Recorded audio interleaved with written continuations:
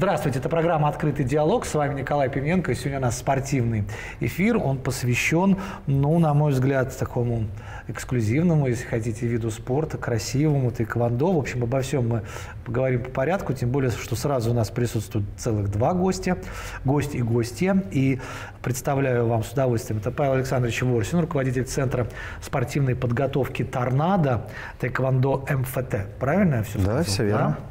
А также Александра Журова. А, ну, Саша при всем своем замечательном юном возрасте, тут такой список, что до конца эфира, наверное, нам надо будет перечислять. Но один из главных – абсолютная чемпионка Кубка Европы среди детей 2019 года, да, правильно? Да? Верно. Вот, потом многократная победительница Кубка России, что уже само собой разумеющееся, кажется, вот, э, и других многих соревнований. Ну, первый вопрос, конечно же, мы тренеру адресуем, так что Саша пока подготовится. Павел Александрович, вообще э, мне казалось, что вот э, разновидности всевозможных силовых – тренировок, э, направлений, там, борьбы и так далее. Ну, мода где-то там конец 80-х, 90-х, немножко до 2000-х, потом вроде бы как это дело стихло, и все встало на нормальные рельсы. Кто хочет, тот тем занимается. Вот э, почему вы занимаетесь тайквондо, и какое место сейчас занимает тайквондо вот в истории конкретно городского округа Люберцы сейчас? Ну, смотрите, тэквондо, оно не узконаправленное, это широконаправленное боевое искусство. Так. Нельзя сказать, что это только спорт. Соответственно, система подготовки спортсменов выстроена таким образом, что мы можем ребят начинать тренировать уже в 3-5 лет. А, вот так вот. Конечно. И выводим уже, подводим их со временем к спорту высших достижений. Угу. Вот сказать, что мода пропала, я бы так не сказал, что она прошла. Мода на единоборство всегда остается, тем более в наше не очень простое время – Детям это очень важно, как девочкам, так и мальчикам.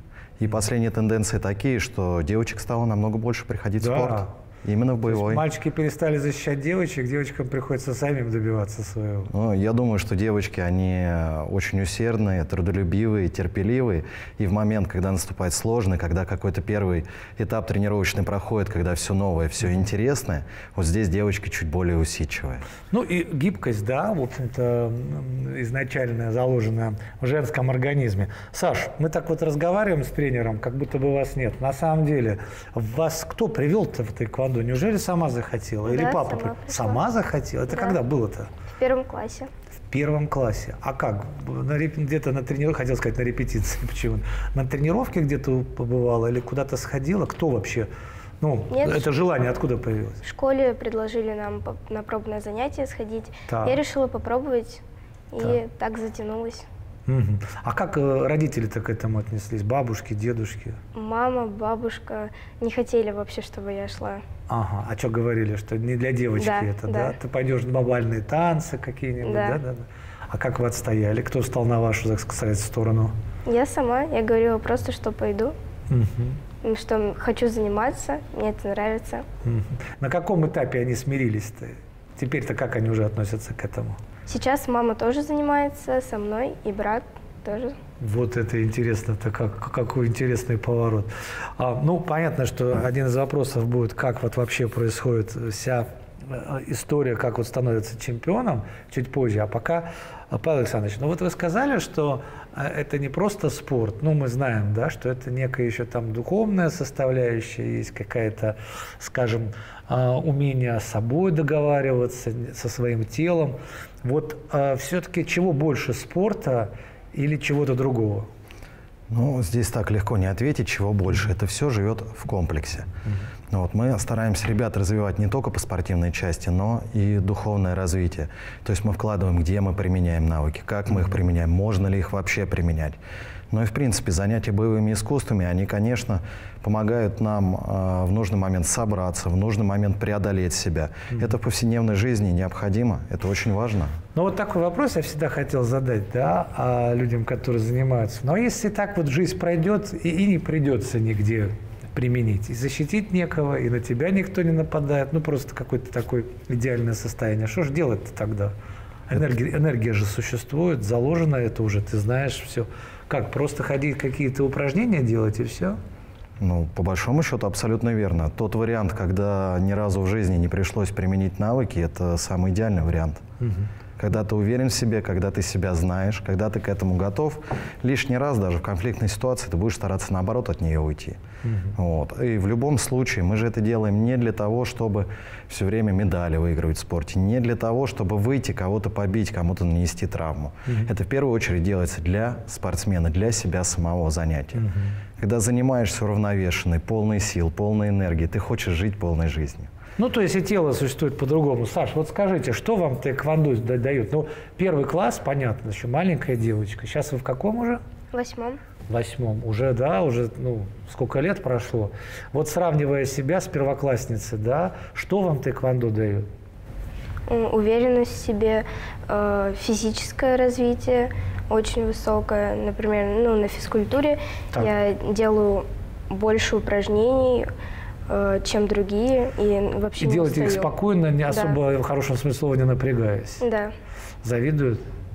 Чуть-чуть. Ну подождите, а мальчишки же знают, что вы как бы ну такая боевая дама, наверное, не подходят. То есть за косу вас уже так просто ты не, да. не дернешь, да? Да.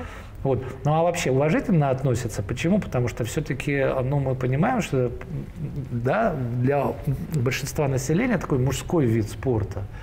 А тут, хотя мы знаем, конечно, женщины сейчас везде присутствуют, практически даже уже у нас и женский футбол там развивается активно, хотя вот по-прежнему еще а, то есть чемпионат мира был, мало его смотрели, не так, конечно, как мужской, но все впереди.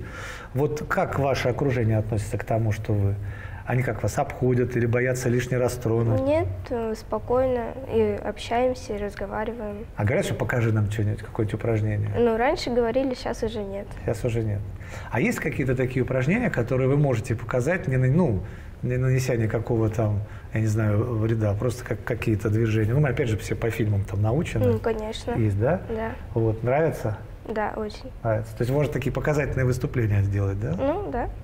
А вы вот сейчас сами приходите, может быть, к каким-нибудь первоклассникам или вообще как идет э, реклама в хорошем смысле слова тэквондо. Вот вы ходите, там входит э, взрослый состав, скажем, преподавательский, либо вы вместе с э, учениками ходите?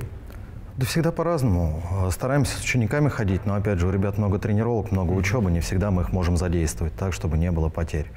Вот. В основном сами проходим в начале года по классам с агитацией. Да. То есть рассказываем про наш вид спорта, объясняем, что ничего супер страшного нету, что мы вас будем аккуратно подводить, аккуратно готовить. А что рассказывать? Вот я вот, например, сижу в школе, да, вот вы приходите и mm. говорите, для чего это, для, для как, каких целей? Обычно стараемся... Я футбол хочу, хочу футболом заниматься. Вот переубедите меня, что э, условного меня, что ну, иди к нам в Тенкандо, будет круто. Но так, чтобы вас отговаривать от футбола, это будет немножко неправильно. Если человек хочет подход. спортом заниматься, почему бы нет? Угу. Я могу при э, общении рассказать наши плюсы, а так, чтобы ставить как противоборствующие стороны, ни в коем случае. Опять же, человек может не подойти. Почему бы не попробовать в чем-то себя другом? Как много приходит людей после таких визитов, детишек-то? Ну, одна-две группы мы наполняем. Ага, вот так. А сколько в да. группе человек? От 10 до 20. От 10 до 20, ну это прям целый класс такой уже, можно, если 20 человек. Вот, а, Саш, скажите, первая медаль, вот вы принесли медали, они же не просто так у нас лежат, так скромно в уголке. Первая медаль-то когда была заработана? Ну, При каких обстоятельствах? В первом классе, так. на таких маленьких клубных соревнованиях. Ага. И выступала по дисциплине туль. И так. заняла первое место. Это что за дисциплина такая? Что, какая там задача стоит? Э, комплексы движений, угу. удары, разные блоки, стойки, угу. в которых важна концентрация и конечное положение. Но это вместе с соперником или сам? Да, с соперником. соперником. А и во время вот этого вот э, выступления считывается, да, насколько эти все были правильно выполнены все элементы? Да. А кто оценивает, кстати, судейская коллегия?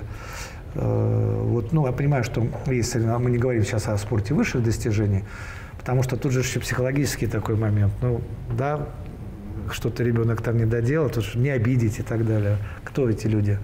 Но, к сожалению, такого момента уже на соревнованиях не может быть, где мы все, оцениваем все по-настоящему, по-взрослому. Все по-настоящему, ага. все по-взрослому. В судейскую коллегию входят а, люди, которые годами этому учатся, проходят ежегодно семинары, по два, по три семинара в год.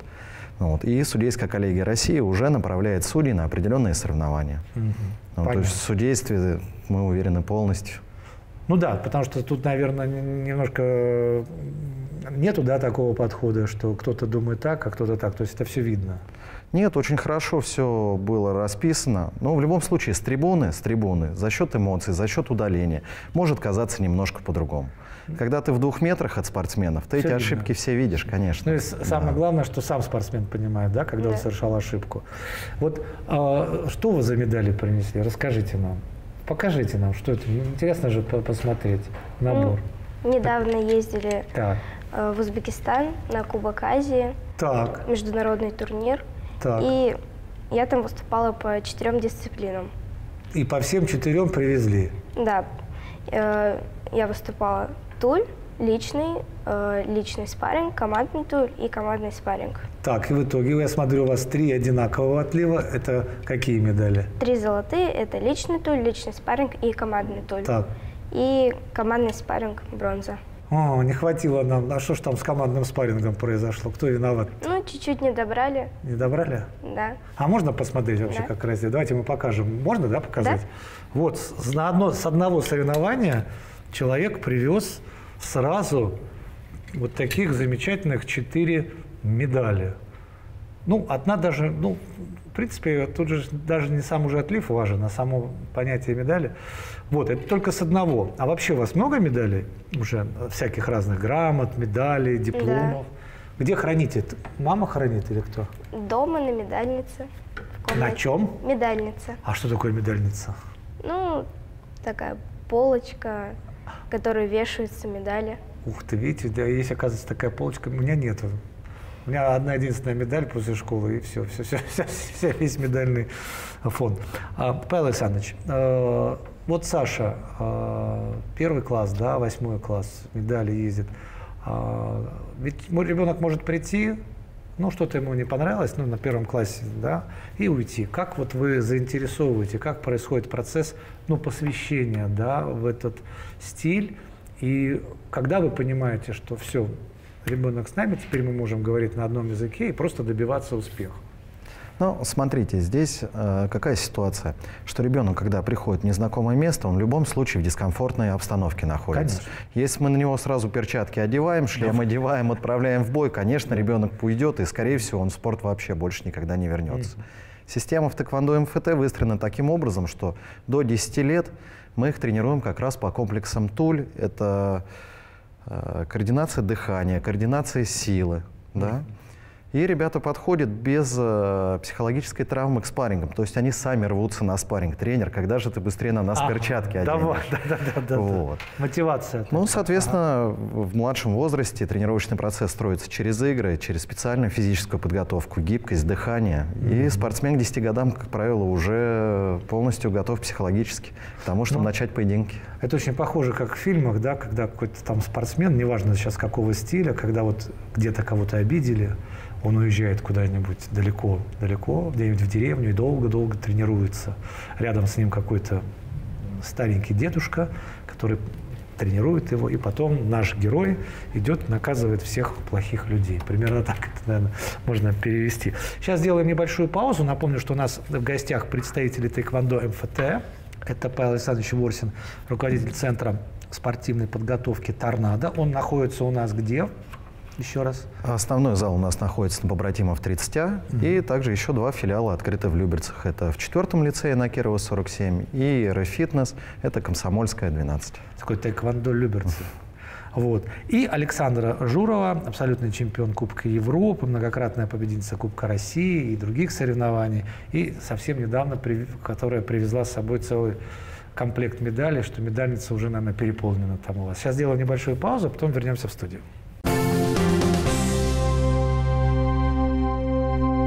Напомню, что это программа «Открытый диалог». С вами Николай Пивненко. Сегодня говорим о тэквондо МФТ. Э, Павел Александрович Ворсин, руководитель Центра э, спортивной подготовки «Торнадо» городского круга Люберцы здесь присутствует. И Александр Журова, абсолютный чемпион Кубка Европы и также многократная участница э, и победительница и медалистка самых разных соревнований. Саш, скажите, а у вас вообще соревнований много? Вот как, вы неделю тренируетесь, потом соревнования, или раз в месяц бывают соревнования? Как ну, происходит? Примерно раз в месяц, через две недели, может быть. Куда-то ездите, да? Или Да. здесь что-то проходит, или Ну куда-то? и ездим, и поблизости проходят соревнования.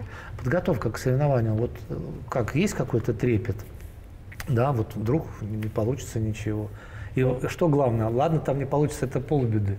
Это будет проблема, потому что вы как-то тренера своего подставите, либо с собой будет разговор серьезный, если не получится выполнить всю поставленную задачу. Ну, очень переживаю сильно перед соревнованиями. И, конечно, потом расстраиваюсь, но надо потом Ну, Идти мы же дальше. тэквондо, раз, и собрались, и все, дальше идти. готовиться к следующим А соревнованиям. победа когда? Как радуются дети? Спокойно? Вот, ну, просто как вот футболисты мы сейчас видим, что такое ощущение, минут 10 они там друг на друга прыгают, радуются, а потом выясняется, что гол не засчитали. Такое тоже бывает. А как радуетесь вы? Ну, конечно, радуюсь. Да? А, можно чуть-чуть порадоваться и потом идти А, поддерживать э, своих а, коллег. да, э, друзей, из, также из других клубов, а М. на следующий день опять готовиться к другим соревнованиям. Понятно. Павел Александрович, вот это же культура, я так понимаю, тут можно такое слово да, применить, отношение вообще к соревнованию. Ну, есть бокс, да, тоже там куча всевозможных федераций, разные подходы. Есть такие вокруг бокса всякие истории, больше похожие на шоу, да, чем на соревнования. А вот культура тэквондо, вот вы сказали, что там заложено много воспитания и поведение на скажем, э, на публике ведь тоже, наверное, заложено. То есть это такой вид, даже вид не, спорта, наверное, а вид существования. Да? Даже радоваться нужно четко со своим организмом. Там все время надо с организмом договариваться. Это так? Абсолютно верно. Ну, То есть как- постоянный контроль над собой, постоянное самосовершенствование. А можно все время себя контролировать? Ну, прямо на 100% я боюсь, что это не получится, но надо стараться к этому стремиться. Ну вот вы сказали дыхание, потому что, например, там а, в, а, в артистической жизни тоже есть, да, и там в певческой есть э, система дыхания. Ну, любой спортсмен, да, тоже дыхание, потому что это позволяет плюс движение. Потом мы, опять же, наученные всякими всевозможными историями, вот, ну, разные там карате, э, дзюдо, да, и так далее. Вот. И все-таки элемент воспитания. Что еще? Читается какая-то литература, смотрятся какие-то фильмы, а какие-то определенные занятия еще проводятся, или только вот силовая подготовка? Но прям так, чтобы фильмы смотреть и литературу читать, да, это есть на сборах. Мы выезжаем два раза в год на сборы. Так. Обязательно со сборной России выезжаем в Тамбов, потому что там базируется. Ну, главный тренер сборной России у нас Тамбова. Приглашает, мы приезжаем, стараемся тренироваться там. А, в вечерней программе есть, когда ребята уже разгружены от тренировок, и фильмы посмотреть. Но больше используется как некое эмоциональное расслабление после нагруженности. Вот. А именно воспитание спортсмена идет сквозь тренировки. На тренировках, на соревнованиях, подход, общение после соревнований, до соревнований. Если мы обратимся к футболистам, да, вот как вы сказали, по 10 минут прыгают, радуются, мы тоже хотим бы и попрыгать. Очень хочется порадоваться, когда выиграл. Но есть напротив соперник, который в этот момент расстроен. И здесь строгий момент на площадке мы должны себя контролировать. Как Ну, только мы же- с нее вышли, мы А. можем немножко порадоваться. А, то есть это такая, какой бы, э, ну, опять же, культура такая, что надо... Элемент уважения к сопернику, к судьям, ко Но мы же всем. победили. Все верно. То есть нельзя. То есть так как бы раз и так спокойно, все, сейчас. Ну, да, Улыбнулись, наверное, да. обрадовались, собрались, вышли с А площадки с уже, Даянга. Потом уже, конечно, к родителям обниматься, радоваться. И до следующего боя надо успеть это в себе перебороть, переключить картину на следующее движение, на будущее. Саша, а вам бывает жалко своего соперника, который проиграл? Ну, да, в какой-то степени. кто-то один должен проиграть. На его месте могли бы быть вы, например, да? Да. Вот. А, то есть нету, тут вот такой важный момент. А, ведь любое единоборство, ну, как нам кажется, людям, кто в этом не участвует, оно все-таки культивирует какую-то агрессию. То есть вы же должны выиграть, то есть вы должны быть немножко подинамичнее и, ну, я не знаю, есть такое понятие, там, добрая агрессия или какая-то другая. Все равно же надо быть э, для, для победы, вы же не можете уступать. Вот где разница между добром и злом? Если, например, не дай бог, да, придется применить эту историю в реальной жизни, как сделать так, чтобы человека остановить, но в то же время его, ну, не, не, не сломать его окончательно? Что это за техника, как можно ее объяснить? Ну, на соревнованиях, если то э, победа, она не только за счет агрессии и силы, а также за счет техники. Угу. А, То есть правильная техника, а в жизни да, как? В жизни нужно стараться все-таки договариваться словами. И... Не, не надо ко мне подходить, потому что потом будем вызывать скорую помощь, правильно? Не надо подходить. Да нет, ну, приводить, приводить какие-то аргументы и решать спор. А еще такой вопрос, Саш, а кино? Вот мы же всегда, знаете, как вот врачей приглашаешь, спрашиваешь, они тихо смеются над всевозможными сериалами про медицину. А вы вот там, где техника, вот это командо применяет, ну или что-то подобное, да, э, это действительно более-менее похоже на правду? Или все это больше шоу, чем... Ну, конечно, это шоу, потому что... То есть вам смешно, там все да? наработано. Это как у нас есть такая дисциплина, постановочный спарринг, традиционный mm-hmm. спарринг. И это все тоже наработано, это красиво, эффектно. То есть как в фигурном катании показательное выступление, да, такие? Да. Кстати, по поводу выступлений. Кто зрители? Есть, ну, понятно, есть какие-то соревнования, но я так понимаю, что ведь если есть целая э, спортивная организация, целый центр, то, наверное, как-то родители хотят поучаствовать, ну, посмотреть, к чему мы там пришли, какие-то отчеты, да? Проводятся ли какие-то соревнования или показательные, опять же, выступления? Как вот эта жизнь э, идет? Или просто только соревнования, и вы приглашаете родителей, они принимают в этом участие? Мы на соревнования обязательно приглашаем родителей. Угу. Ну, поддержка это очень, очень сильная вот для да. ребенка. Это более привычная обстановка, особенно на начальном уровне. Вот. А отчеты, да, у нас президент Федерации Лаз Константинович Целфидис очень трепетно, очень много времени уделяет Федерации. Угу. Ну, поэтому мы всегда родителям предоставляем отчеты, как Федерация живет на российском уровне, на уровне региона. То есть вся информация открыта, и всегда это можно посмотреть, спросить, узнать. Угу, понятно. Саша, а вот сейчас кто-то смотрит, какая-нибудь девочка или мальчик на перв, в первом классе, и чуть-чуть заинтересовались. Вот что должно быть э, прежде всего, вы же уже прошли такой путь, вот, скажем так, к кому можно сейчас задуматься над тем, чтобы прийти э, вот в э, этот центр? Как, да, то есть рост играет роль, мы понимаем, что не играет. Нет. Есть низкие, есть высокие. Ну, вес в таком возрасте, он, понятно, может регулироваться, человек совсем другим станет. А, а поведение – ведь поведение же тоже такая история, потому что э, если человек вспыльчивый, то в тэквондо с ним надо долго, наверное, работать, чтобы его как-то, да? Вот вы вспыльчивые были в первом классе или нет? Нет, есть... очень стеснительная и, можно сказать, зажатая. Ага. И на людях ну, такая, по, да. по девочка такая, да. да, была? И поэтому мама с бабушкой, наверное, подумали, боже мой, куда, какой тэквондо. Получается, да, Павел Александрович, что а, это такой, в общем-то, комплекс, можно сказать, был, да, который через тэквондо вот вылился совсем другого человека. Правильно я понимаю? Ну, абсолютно верно. Оно тэквондо, да и как, в принципе, единоборство, оно как раскрывает немного ребят с комплексами зажатых, mm-hmm. также и дает понять тем, кто более, ну, как то сказать, более шебутной, более активный, а, кто не контролирует немножко... себя немножечко, да, держать себя Но в это руках. сложнее, мне кажется, нет? И то, и то одинаково сложно, потому что каждая ситуация, она разбирается отдельно. Какой-то одной модели поведения, работы с ребенком нет. Угу. Каждый из детей личность, с каждым надо подходить отдельно, работать. Но потом я понимаю, что так вот в такого вида борьбе, там же есть определенные законы, там нельзя, ну, как рамки какие-то, да, вот эта восточная культура, она еще позволяет сказать, что туда не ходи, какие-то движения делать, с кем-то нельзя спорить и так далее. Есть какие-то такие традиционные ограничения?